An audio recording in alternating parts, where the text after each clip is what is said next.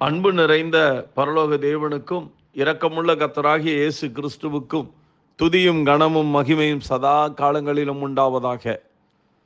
ஆண்டவராகிய இயேசு கிறிஸ்துவின் ஈடு நேற்ற நாமத்தினாலே உங்களை வாழ்த்துகிறேன். கர்த்தர் உங்களையும் உங்கள் பிள்ளைகளையும் பிள்ளைகளின் பிள்ளைகளையும் நிச்சயமாய் ஆசீர்வதிப்பார். அவர் ஒரு நாளும் உங்களை கைவிட மாட்டார். கவலைப்படாதிருங்கள் சோர்ந்து போகாதிருங்கள். ஏசாயா தீர்க்கதரிசியின் புஸ்தகம் நாற்பத்தி மூணாம் அதிகாரம். ரெண்டாம் வசனத்தில் நாம் வாசிக்கிறோம் நீ அக்கினியில் நடக்கும்போது வேகாதிருப்பாய். இதற்கு ஒரு சம்பவத்தையும் வேதம் சொல்லுகிறது. என்ன சம்பவம்?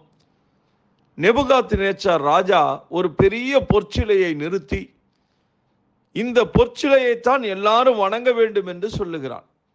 இவர்கள் பாபிலோன் தேசத்திலே அடிமைகளாக இருக்கிறார்கள். எழுபது ஆண்டுகள் அடிமைப்பட்டு போன நாட்களில் நடந்த ஒரு சம்பவம். இப்பொழுது எல்லாரும் விழுந்து வணங்குகிறார்கள். ஏன்னா ராஜாவினுடைய கட்டளையை தள்ள முடியாது. ராஜா சொன்னால் சொன்னதுதான். கீழ்ப்படியிலனா மரண தண்டனா அதற்கு மேலாக ஒன்று செய்ய முடியாது. மரண தண்டனை நிச்சயமாக நிறைவேற்றுவார்கள். இங்கே ஒரு வித்தியாசமான மரண தண்டனை சொல்லுகிறான்.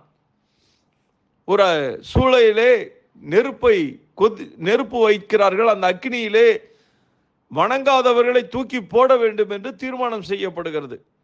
ஆனால் இவர்கள் மூன்று பேருமே வாலிப பிள்ளைகள் வைராக்கியமானவர்கள் கர்த்தருக்காக தங்கள் ஜீவனையும் பாராதவர்கள். தேவன் எப்பொழுதுமே யார் பக்கத்தில் இருக்கிறார் என்றால் தங்கள் ஜீவனை பாராதவர்களே.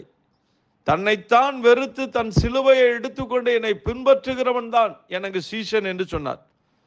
தன்னை வெறுக்காதவனை தேவன் விரும்புகிறதில்லை. தன்னை வெறுக்க கற்றுக்கொள்ள வேண்டும். எந்த சூழ்நிலையிலும் மறுதளிக்காத ஒரு அனுபவம் வாழ்க்கையிலே வர வேண்டும். என்ன நேர்ந்தாலும் சரி என்ன சம்பவித்தாலும் நான் கத்தரை விட்டு பிரிய மாட்டேன் என்று சொல்லி அவருக்காக வைராக்கியமாய் இருக்கும்போது கர்த்தர் பறந்து காக்கிற பட்சி போல உங்களுக்காக வைராக்கியமாய் இருப்பார். என்னை கனம் பண்ணுகிறவர்களை நான் கனம் பண்ணுவேன் என்று சொன்னவர் எந்த சூழ்நிலையிலும் அவருக்காக வைராக்கியமாய் இருக்கும்போது அவர் கைவிடாத தேவனாய் இருக்கிறார். இவர்கள் பாருங்கள் நாங்கள் ஆராதிக்கிற எங்கள் தேவன் எங்களை தப்புவிக்க வல்லவர் என்று சொல்லுகிறார்கள். நீ நிறுத்தின பொற்சிலையை நாங்கள் வணங்க மாட்டோம். சாகிறதுனாலும் சாகிறோம் என்று சொல்லுகிறார்கள். இப்பொழுது ஏழு மடங்கு அந்த சூளை அக்கினியினாலே நெருப்பினாலே சூடாக்கப்படுகிறது. இவர்களை கட்டி உள்ளே கொண்டு போய் போடுகிறார்கள். கட்டி தூக்கிட்டு போனவங்க செத்து போகிறார்கள். நெருப்பு அத்தனை கடுமையானது.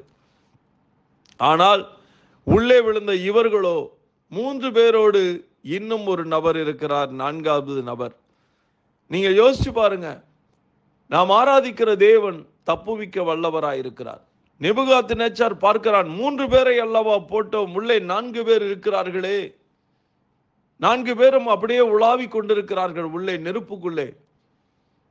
நெருப்பு எரிந்து சாம்பலாக்கும் எரித்து.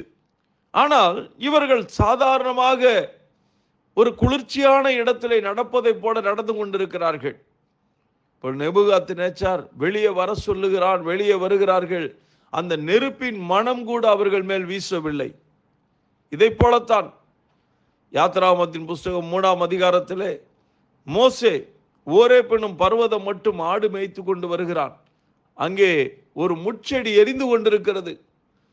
அக்கினி எரிகிறது ஆனால் முட்செடி வேகவில்லை. இவன் பிரமித்து ஆச்சரியப்படுகிறான். நெருப்பு பிடித்து எரிந்தால் அந்த முள் எரிந்து சாம்பலாக வேண்டும். அந்த செடி எரிய வேண்டும். ஆனால் நெருப்பு எரிகிறது. முட்செடி அப்படியே இருக்கிறது. கிட்ட வந்து ஆச்சரியப்பட்டு பார்க்கும்போது தான் கத்த சொல்லுகிறார் நீ நிற்கிறது பரிசுத்தமான இடம் உன் பாதரட்சைகளை கலற்றி போடு என்று சொல்லி பேசுகிறார். இங்கேயும் அப்படித்தான். நெருப்பு எரிகிறது. உள்ளே அவர்கள் இருக்கிறார்கள். ஒரு சேதமும் இல்லை. இந்த உலக வாழ்க்கையிலும் சரி உங்களுடைய வாழ்க்கையிலே பல போராட்டங்களும் பிரச்சனைகளும் பாடுகள் உபத்திரவங்கள் வருகிறதா? அக்கினியிலே இருப்பதைப் போல உணர்கிறீர்களா? அத்தனை கடுமையான வேதனை உங்கள் வாழ்க்கையிலே வந்துவிட்டதா? கவலைப்படாதிருங்கள். அது உங்களை மேற்கொள்வதில்லை நீங்கள் அதை தாண்டி கடந்து செல்லுவீர்கள். ஏன்னா கர்த்தர் உங்களோடு இருக்கிறார். அவர் எல்லா தீங்குக்கும் விலக்கி காக்கிற தேவன். அக்கினியின் உக்கரத்தை அவிக்கிறவர். சேதப்படுத்தாதபடி காக்கிறவர்.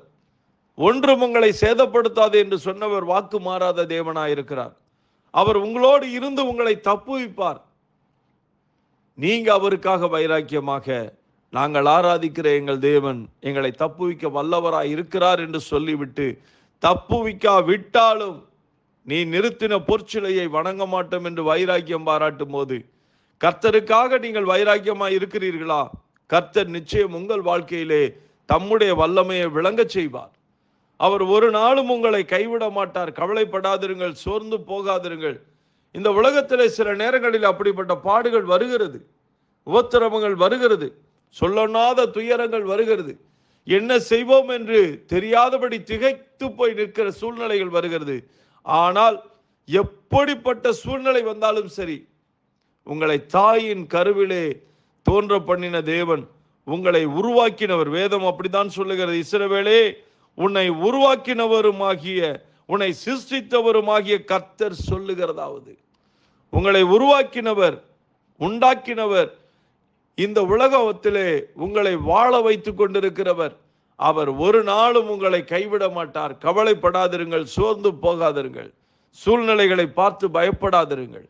எல்லாவற்றிலேயும் கர்த்தர் உங்களோடு இருக்கிறார். தாவிது சொல்லுகிறான் நான் வானத்துக்கு ஏறினாலும் அங்கே இருக்கீங்க. தாள பூமியிலே பாதாளத்தில் இறங்கினாலும் அங்கே இருக்கீங்க. நான் எங்கே போவேன்ப்பா உங்கள் கண்களுக்கு மறைவாக நான் எங்கே செல்லுவேன் என்று சொல்லுகிறான். உண்மைதான். கர்த்தர் அதே கர்த்தர். உங்களோடும் இருந்து உங்களை நடத்துகிறவராக இருக்கிறார். ஒருவேளை இன்றைக்கு அப்படிப்பட்ட பாதையில கடந்து வருகிறீர்களா? உங்கள் கரத்தை பற்றி ஆண்டவர் இயேசு கூடவே வருகிறார். கவலைப்படாதிருங்கள் சோர்ந்து போகாதிருங்கள். நாம் ஜெபிப்போம். அன்பு தகப்பனே இந்த வார்த்தையை கேட்டுக்கொண்டிருக்கிற உடைய பிள்ளைகளுக்காக நான் ஜெபிக்கிறேன். அக்கினியிலே நடக்கும்போது நீ வேகாதிருப்பாய் என்று சொன்ன வார்த்தை அவர்கள் மேல் வந்து பழிப்பதாக ராஜா. அண்டவர் எல்லா உபத்திரவத்தையும் மாற்றுகிறவர் தீமைகளை மாற்றுகிற தேவன். ஒவ்வொரு பிள்ளைகளையும் கத்தாவே நீர் ஆசிர்வதியும் அப்பா. கூட இருந்து ஒன்றும் சேதப்படுத்தாதபடி காத்துக்கொள்ளும்படி ஜெபிக்கிறேன். இயேசு கிறிஸ்துவின் நாமத்தில் ஜெபிக்கிறேன்.